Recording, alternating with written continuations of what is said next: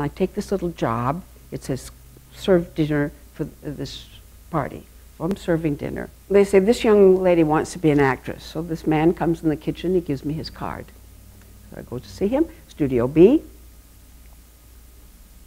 It's his apartment. Uh, so he says, uh, "How do you think you're going to get ahead in this town?" I said, "Well, I'm a really good actress." Well, he said, "What does it say? It's ten girls lined up, and the part's not very difficult. Which one's going to get this part?"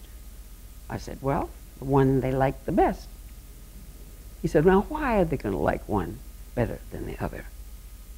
Took me forever to get this message. And so he said, if you know, I can take you around and I can help you. I said, you have no character.